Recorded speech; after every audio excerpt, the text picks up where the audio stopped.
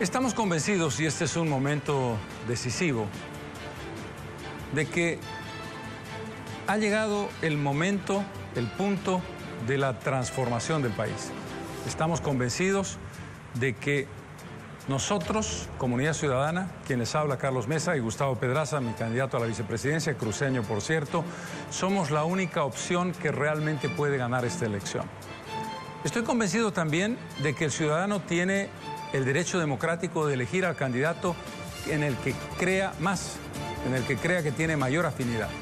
Lo decía, nosotros hemos tenido diferencias con Óscar Ortiz y tenemos elementos comunes con Óscar Ortiz que tienen que ver con, por ejemplo, el tratamiento de la salud.